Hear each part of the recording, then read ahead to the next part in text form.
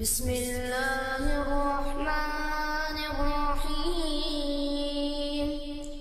الله ولي الذين آمنوا يخرجهم من الظلمات. من الظلمات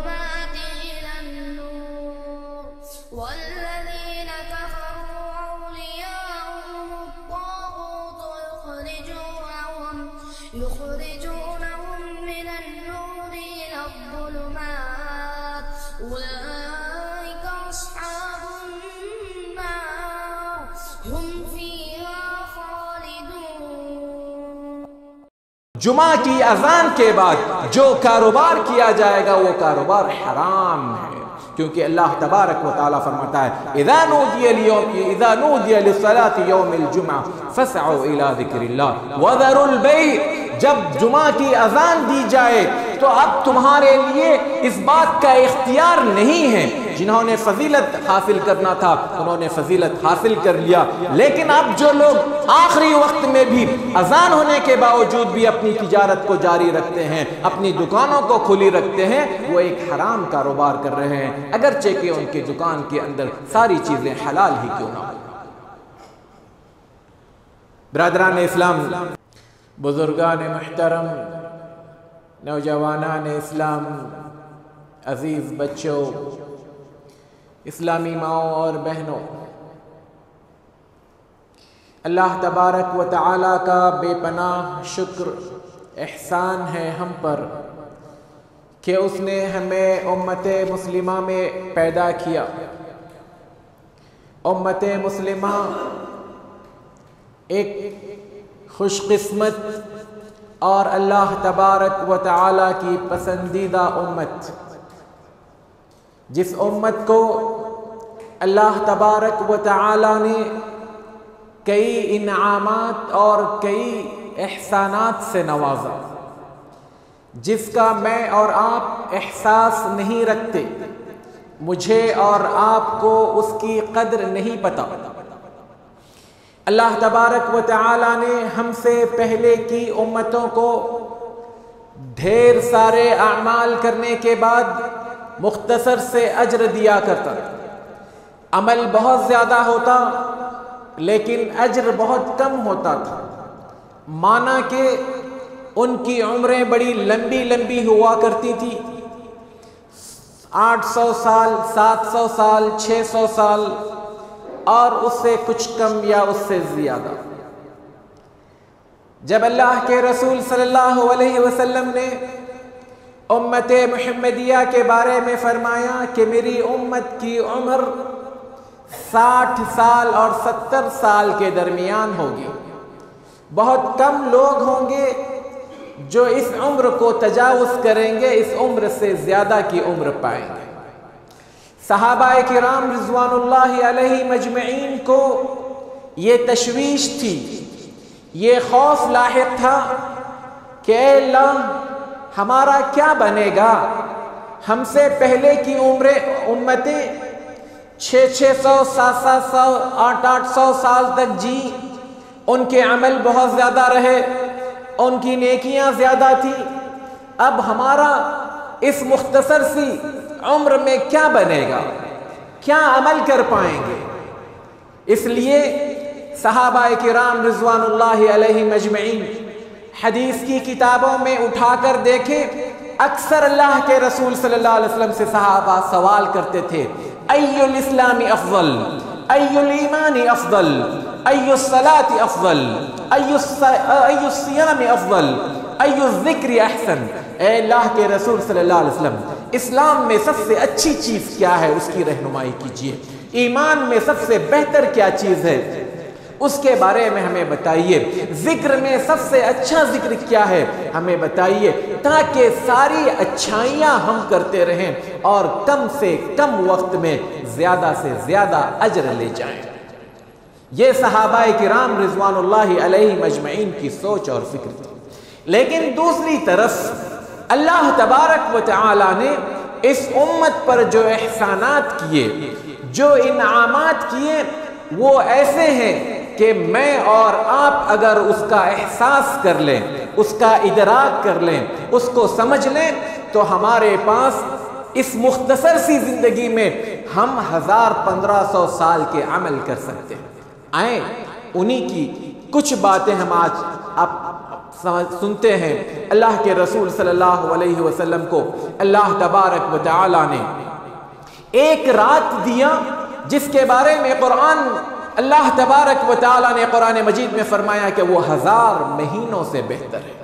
لیلت القدر کو ہزار مہینوں سے بہتر قرار دیا یعنی تراسی سال چار مہینے، ایک رات کی عبادت۔ چلے ٹھیک ہے، وہ ایک رات ہمیں نہیں پتا کہ کون سی رات ہے۔ مان لیجیے پانچ راتوں کو اگر ایک انسان عبادت کرتا ہے تو وہ تراسی سال چار مہینے کی عبادت کر رہا ہے۔ اور اگر کوئی انسان اپنی زندگی کے دس سال کی لیلت القدر کو پاتا ہے، تو کم از کم آٹھ سو چالیس سال عبادت کا ثواب اس کے حصے میں آتا ہے۔ اللہ تبارک و تعالیٰ نے کعبت اللہ میں ایک نماز پڑھنے کا اجر، ایک لاکھ نمازوں کے برابر رکھا۔ ایک لاکھ نمازوں کے برابر یعنی قریب قریب چوپن سال کی نماز ہوتی ہیں۔ اگر کسی نے ایک دن کی پانچ وقت کی نمازیں بیت اللہ میں پڑھتا ہے، قریب قریب ڈھائی سو سال کی نماز پڑھنے کا اجر اس کے نام پر لکھ دیا جاتا ہے۔ ایسی کئی چیزیں ہیں جو اللہ تبارک و تعالی نے امت مسلمہ کو عطا کی کہ اے امت مسلمہ، عمل کم کرو، لیکن اجر زیادہ پاؤ۔ اس بنیاد پر کہ یہ اللہ کے رسول صلی اللہ علیہ وسلم کی جو شخصیت تھی، آپ صلی اللہ علیہ وسلم کا جو مقام و مرتبہ تھا، اللہ تبارک و تعالی نے اس نقطۂ نظر سے اس امت مسلمہ کو بھی بھرپور عنایتوں سے نوازا۔ ان میں سے ایک چیز جو امت مسلمہ کو دی گئی، وہ جمعہ کا دن تھا۔ دوستو جمعہ کا دن جس کو امت مسلمہ نے بھی اگرچہ کہ ہم سے پہلے کی امتوں کے بارے میں اللہ کے رسول صلی اللہ علیہ وسلم فرماتے ہیں جمعہ کے دن کے بارے میں یہود و نصارہ سے بھی کہا گیا۔ ہفتے میں ایک دن ہے۔ وہ دن تمہارے لیے بہت بہترین دن ہے۔ تمہارے لیے اجر و ثواب کمانے کا دن ہے۔ لیکن یہودی اس دن کو نہیں پا سکے۔ گمراہ ہو گئے اور انہوں نے سنیچر کو اپنا ہفتہ واری عید کا دن بنا لیا۔ نصارہ بھی اس میں بھٹک گئے، بہک گئے، وہ بھی جمعہ کو نہیں پا سکے اور انہوں نے اتوار کو اپنا ہفتہ واری دن بنا لیا۔ امت مسلمہ کو اللہ تبارک و تعالی نے اس کی رہنمائی کر دی، اس کی طرف ارشاد کر دیا کہ یہ جمعہ کا دن ہے اور اس جمعہ کے بارے میں اللہ کے رسول صلی اللہ علیہ وسلم فرماتے ہیں، اے لوگو، اس جمعہ کے دن کی اہمیت اور قدر کو سمجھو۔ اللہ تبارک و تعالی نے تمہیں اس دن کو دیکھ کر یہ دن سید الایام کہلایا۔ دنوں میں سب سے بہترین سارے دنوں کا سردار اللہ کے رسول صلی اللہ علیہ وسلم فرماتے ہیں کہ یہ دن عید الاضحیٰ اور عید الفطر یعنی بقرعید عید اور رمضان عید سے زیادہ افضل اور بہتر دن۔ اللہ کے رسول صلی اللہ علیہ وسلم فرماتے ہیں، جس دن سورج طلوع ہوتا ہے، ان دنوں میں سب سے افضل ترین دن جمعہ کا دن ہے، اس میں کچھ خوبیاں بتائی۔ فرمایا، اللہ تبارک و تعالی نے آدم علیہ السلام کو جمعہ کے دن پیدا کیا۔ جمعہ کے دن ہی انہیں جنت میں بھیجا۔ جمعہ کے دن ہی انہیں جنت سے نکال کر زمین پر بھیجا۔ جمعہ کے دن ہی آدم علیہ السلام کا انتقال ہوا اور فرمایا، جمعہ کے دن ہی قیامت قائم ہوگی یہ جمعہ کا دن ہے۔ اللہ کے رسول صلی اللہ علیہ وسلم نے امت مسلمہ کو اس حوالے سے ترغیب دیا کہ اے مسلمانوں، جمعہ کے دن کا اہتمام کرو۔ اس دن نہاؤ دو اچھے سے اچھے کپڑے پہن کر مسجد جاؤ۔ جلد از جلد مسجد جاؤ۔ عطر کا اہتمام کرو۔ خوشبو لگاؤ۔ نہا دھو کر جب مسجد جاؤ تو کوشش کرو کہ سب سے اول ترین وقت میں پہنچو۔ اور اس اول ترین وقت پر پہنچنے کا کیا عجر ہے؟ آئے اللہ کے رسول صلی اللہ علیہ وسلم کی زبانی سنتے ہیں۔ آپ صلی اللہ علیہ وسلم فرماتے ہیں، من اغتسل یوم الجمعہ، جو غسل الجنابہ، جس انسان نے جمعہ کے دن وہ غسل کیا، جو انسان جنابت کا غسل کرتا ہے۔ یعنی جب غسل واجب ہو جاتا ہے تو اس طرح کا غسل جمعہ کے دن کرتا ہے۔ اس کی تفصیل ایک دوسری حدیث میں بھی آگے آئے گی۔ فرمایا، جس نے جمعہ کے دن جنابت کا غسل کی طرح غسل کیا اور مسجد کی طرف نکل گیا۔ ابتدائی گھڑیوں میں، اول وقت میں، فَكَأَنَّمَا قَرَّبَ بَدَنَا، گویا اس شخص نے ایک اونٹ اللہ کی راہ میں قربان کر دیا، یا ایک اونٹ اللہ کی راہ میں صدقہ و خیرات کر دیا۔ ومن راہ فی الساعت الثانیہ جو دوسری گھڑی میں چلا گیا، دوسرے گھنٹے میں چلا گیا فر فرمایا، فَكَأَنَّمَا قَرَّبَ بَقَرَا تو گویا اس نے ایک گائے ذبح کر کر اللہ کے نام پر قربانی کر دی۔ ومن راہ فی الساعت الثالثہ کہا فقربا کبشن اقرن تو جو شخص تیسری گھڑی میں پہنچا، تیسرے وقت میں پہنچا، گویا اس نے سینگ والا میڈا اللہ کے راستے میں قربان کر دیا اور اللہ تبارک و تعالیٰ کے لیے اس نے قربانی کر دیا۔ فرمایا، جو انسان چوتھی گھڑی میں گیا، فَكَأَنَّمَا قَرَّبَ دُجَاجَا، جو انسان چوتھی گھڑی میں گیا، گویا اس نے ایک مرغی ذبح کر کر اللہ کے نام پر صدقہ و خیرات کیا اور جو انسان پانچویں گھڑی میں گیا، پانچویں حصے میں گیا، فرمایا، فَقَرَّبَ بَيْضًا، گویا اس نے ایک انڈا اللہ کے راستے میں صدقہ و خیرات کیا۔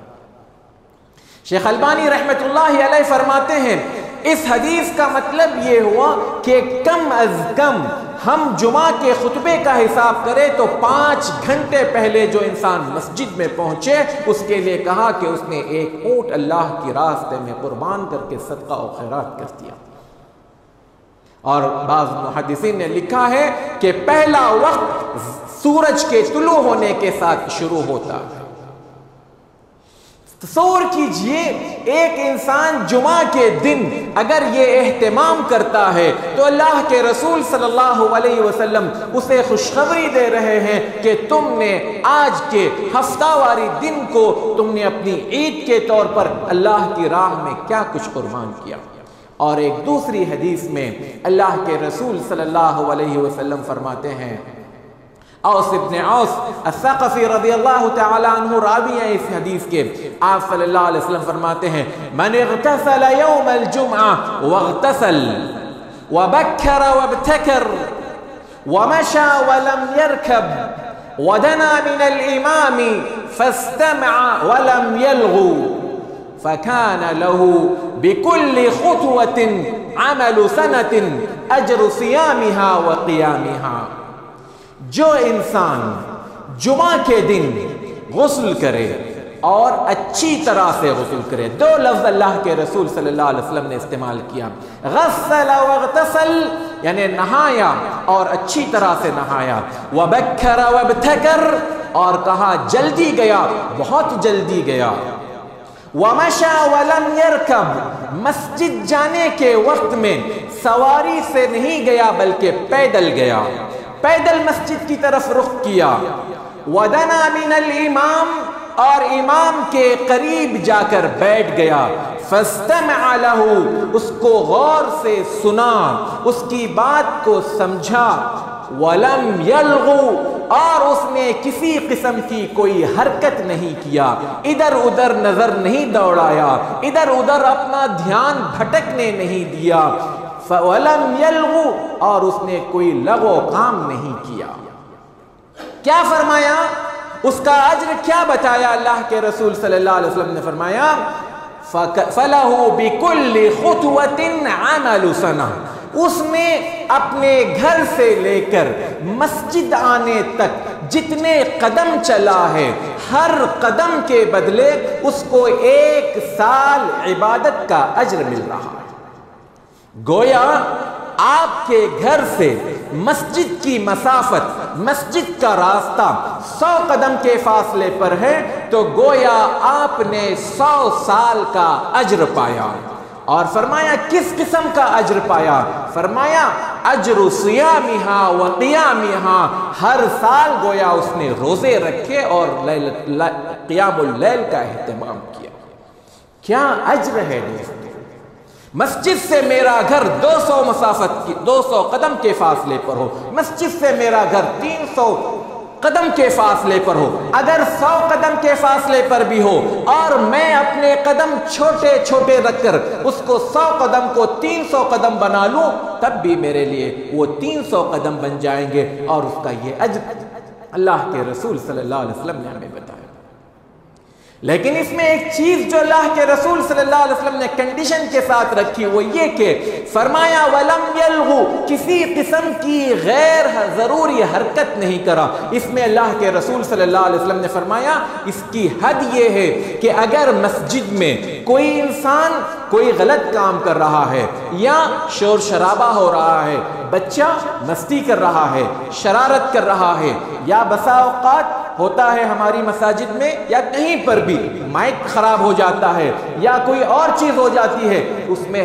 ہر کوئی ڈسٹرب ہوتا ہے، کوئی کسی کو اشارہ کرتا ہے، کوئی کچھ کہتا ہے، کوئی آتا ہے، سلام کرتا ہے، ہاتھ ملتا ہے، خیر، خیریت دریافت کرتا ہے۔ یہ سب لغو کام اس میں کوئی کسی قسم کی حرکت نہیں ہونی چاہیے۔ حتیٰ کہ اگر آپ نے کسی کو خاموش رہو، کہہ دیا، آپ کا بے جمعہ چلا گیا۔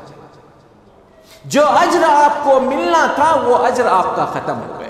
وہ اجر سے ہم محروم ہو گئے۔ کہا، کچھ نہیں کرنا۔ حتیٰ کہ فرمایا، اگر تمہارے سامنے کنکر یا کچھ اور چیزیں رکھی ہوئی ہے آپ اس کے ساتھ کھیل رہے ہوں یا اس کو ٹھیک کر رہے ہوں، ہٹا رہے ہوں، تب بھی یہ لغو کام ہوگا۔ آپ کا کام مسجد میں آنے کے بعد خاموشی کے ساتھ بیٹھ کر اللہ کا ذکر کریں، اللہ کا شکر کریں، اللہ کی تعریف بڑھائے کریں، یا پھر اللہ کے رسول صلی اللہ علیہ وسلم نے فرمایا، جمعہ کے دن اے امتیو، مجھ پر کثرت سے درود پڑھو، تمہارا درود مجھ تک پہنچایا جاتا ہے۔ صحابہ نے کہا، اے اللہ کے رسول صلی اللہ علیہ وسلم، اس وقت تو آپ زمین میں مل کر، مٹی میں مل گئے ہوں گے، آپ جو ہے آپ کا جسم مٹی کا حصہ بن چکا ہوگا اور آپ بوسیدہ ہو چکے ہوں گے۔ آپ صلی اللہ علیہ وسلم نے فرمایا کہ نہیں، مجھ، میری، بلکہ انبیاء علیہ السلام کے جسم کو انبیاء علیہ السلام کے گوشت پوش کو اللہ تعالیٰ نے مٹی کے لیے حرام قرار دیا۔ لہٰذا میں ایسا نہیں ہوں گا۔ تمہارا سلام مجھ تک پہنچایا جاتا ہے۔ تو گویا جمعہ کے دن کثرت کے ساتھ درود پڑھنے کا مجھے اور آپ کو حکم دیا گیا۔ تو مسجد میں جب انسان پہنچے، کسی قسم کی کوئی حرکت نہ کرے، تو اللہ کے رسول صلی اللہ علیہ وسلم فرماتے ہیں، جو انسان مسجد میں آئے اور مسجد میں بیٹھ کر عبادت کرے، تو اس کو اس جمعہ سے لے کر اگلے جمعہ تک کا پلس تین دن، گویا دس دن کا اجر و ثواب اس کے نام پر لکھ دیا جاتا ہے۔ اور آپ صلی اللہ علیہ وسلم فرماتے ہیں، جو انسان جمعہ کے دن سورہ کہف کی تلاوت کرے گا۔ اللہ تبارک و تعالی اس کے لیے اگلے جمعہ تک کی کے لیے روشنی پیدا کر دے گا۔ اور ایک دوسری روایت میں فرمایا، اس کے درمیان اور کعبۃ اللہ کے درمیان اس کے لیے روشنی پھیلا دے گا۔ یہ جمعہ کی اہمیت اور یہ جمعہ کی فضیلت ہے دوستو۔ لیکن ہمارا عمل جمعہ کے حوالے سے یہ ہے کہ ہم ایک تو مسجدوں میں داخل ہوتے ہیں۔ پہلی بات، بہت سارے لوگ مسجد میں اول وقت میں آتے ہیں۔ اللہ کے رسول صلی اللہ علیہ وسلم فرماتے ہیں، مسجد میں جب تم داخل ہوتے ہو تو فرشتے دروازے پر کھڑے رہ کر ہر آنے والے کا نام اپنے رجسٹر میں لکھتے رہتے ہیں۔ کون وقت پر پہنچ رہا ہے؟ سب کے نام رجسٹر میں درج ہوتے رہتے ہیں۔ اور جب امام نکلتا ہے ممبر پر کھڑا ہو کر سلام کرتا ہے، فرشتے اپنے دفتر بند کر دیتے ہیں اور مسجد میں آ کر اللہ کے ذکر کو سننے لگ جاتے ہیں۔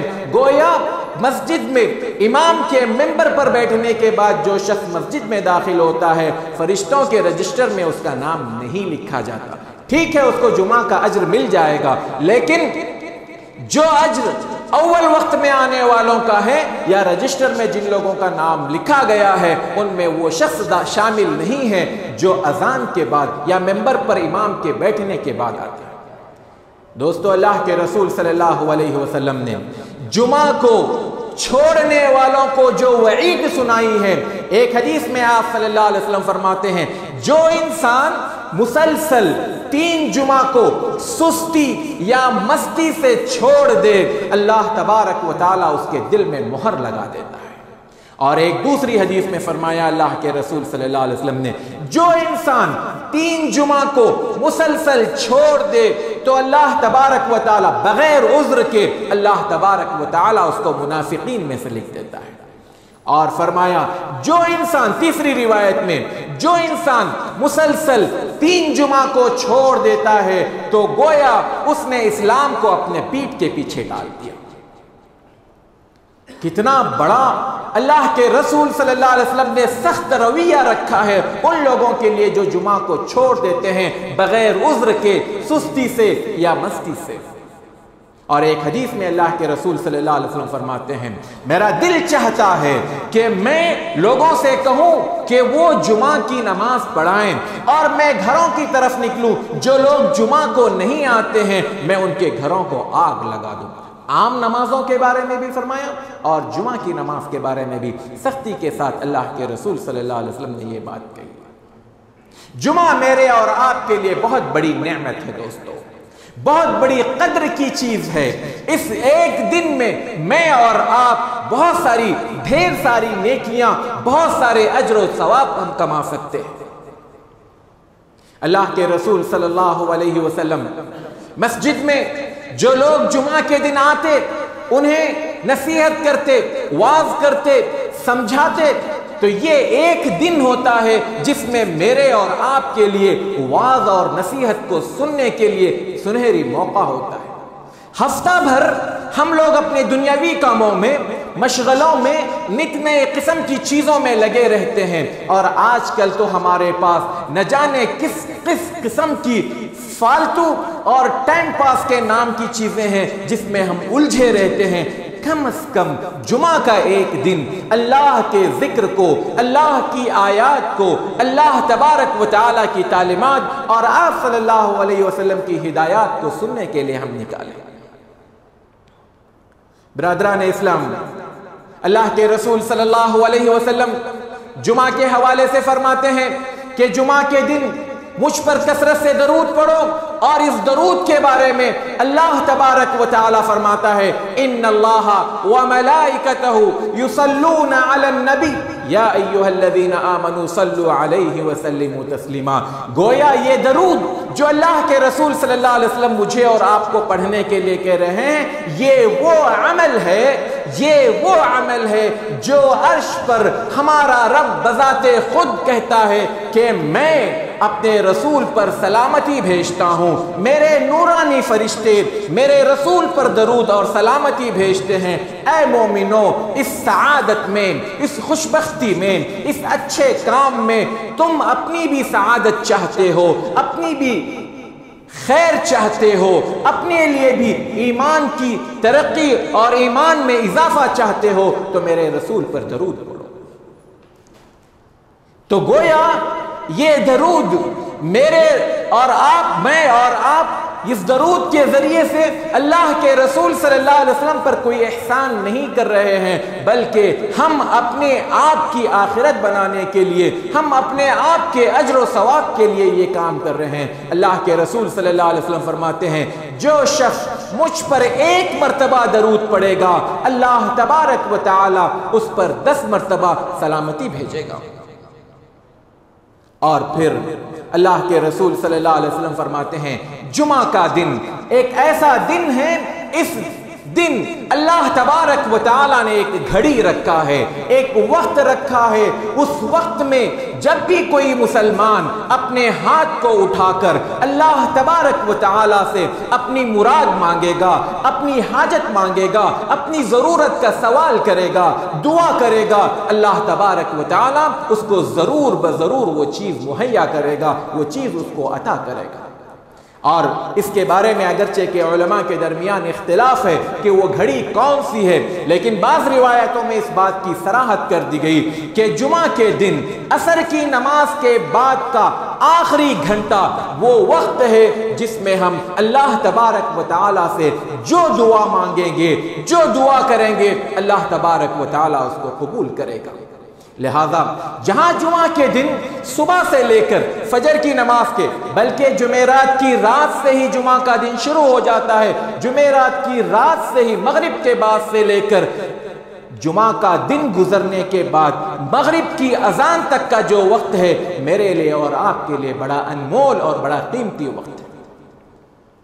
لیکن بدقسمتی یہ ہے کہ جس طرح سے یہود و نصارہ کو پتہ نہیں چلا کہ یہ دن کون سا ہے وہ بھٹک گئے، بہک گئے، کسی نے سنیچر کو اختیار کیا، کسی نے اتوار کو اختیار کیا، لیکن ہم امت مسلمہ جانتے ہوئے پہچانتے ہوئے بتایا گیا، سب کچھ کیا گیا۔ اس کے باوجود بھی ہمارے پاس جمعہ کے لیے کوئی اہمیت اور جمعہ کے لیے ہماری فضیلت کا ہمیں مجھے اور آپ کو کوئی احساس نہیں۔ اس احساس کو کرنے کی ضرورت ہے۔ جمعہ کے دن ہم وقت سے پہلے مسجدوں میں پہنچنے کی کوشش کریں اور خاص کر جو لوگ یہ سمجھتے ہیں کہ جمعہ کی نماز یہ اہم ہے، جمعہ کا خطبہ اہم نہیں ہے، یہ ایک غلط سوچ ہے۔ اور جو لوگ کاروبار کرتے ہیں، بسا اوقات وہ یہ سمجھتے ہیں کہ نماز میں جا کر شامل ہو جائیں گے۔ ایک بات یاد رکھیے، جمعہ کی اذان کے بعد جو کاروبار کیا جائے گا، وہ کاروبار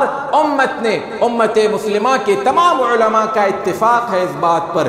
جمعہ کی اذان کے بعد جو کاروبار کیا جائے گا، وہ کاروبار حرام ہے۔ کیونکہ اللہ تبارک و تعالیٰ فرماتا ہے، اذا نودی لیوم اذا نودی للصلاة یوم الجمعہ فسعوا الى ذکر اللہ۔ وذروا البیع۔ جب جمعہ کی اذان دی جائے تو اب تمہارے لیے اس بات کا اختیار نہیں ہے۔ جنہوں نے فضیلت حاصل کرنا تھا، انہوں نے فضیلت حاصل کر لیا۔ لیکن اب جو لوگ آخری وقت میں بھی اذان ہونے کے باوجود بھی اپنی تجارت کو جاری رکھتے ہیں، اپنی دکانوں کو کھلی رکھتے ہیں، وہ ایک حرام کاروبار کر رہے ہیں۔ اگرچہ کہ ان کے دکان کے اندر ساری چیزیں حلال ہی کیوں نہ ہو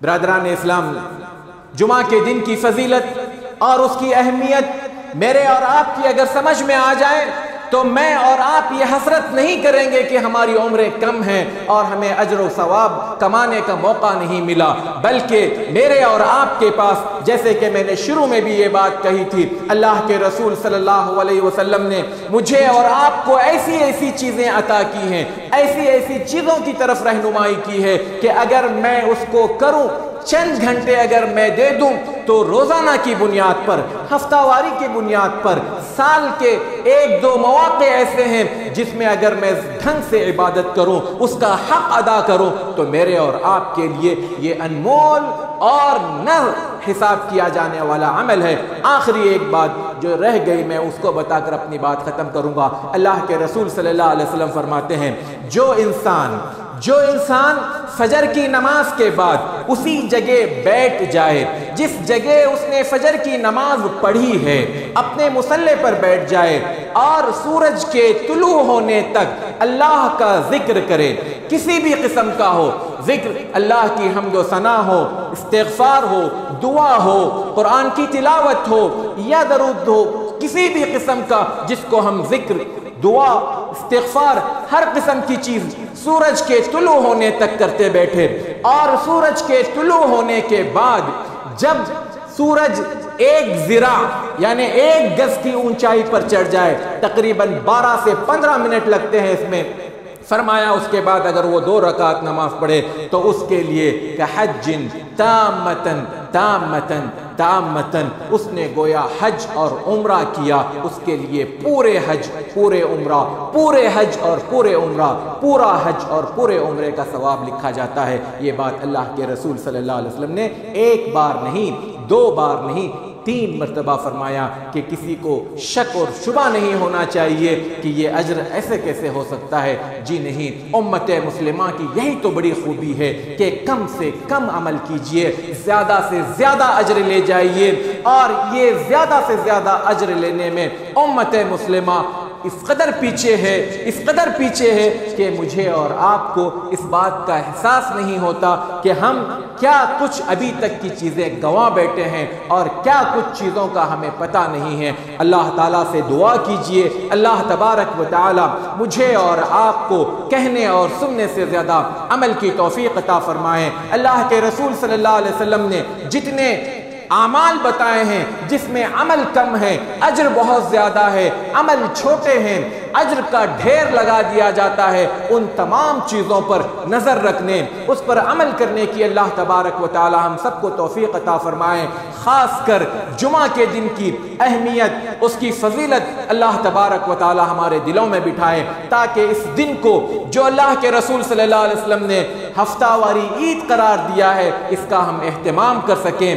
اس کو وقت دے سکیں، اس میں اللہ کی عبادت کر سکیں۔ اور اللہ نہ کرے، اگر اس دن جیسے کہ اللہ کے رسول صلی اللہ علیہ وسلم نے کہا، قیامت جمعہ کے دن آئے گی۔ اگر جمعہ کے دن قیامت آ بھی جائے تو میں اور آپ اللہ کی عبادت میں، اللہ کے ذکر و اذکار میں، اللہ کی حمد و ثنا میں لگے رہیں۔ تو اللہ تبارک و تعالی ہمیں اس بات کی توفیق دے کہ ہم اللہ کے نزدیک اس کے عمل کرنے والے بندے بنے اس کی عبادت کرنے والے بندے بنے آمین۔ ثم آمین۔ اقول قول هذا واستغفر الله لي ولكم ولسائر المسلمين من كل ذنب فاستغفروه انه هو الغفور الرحيم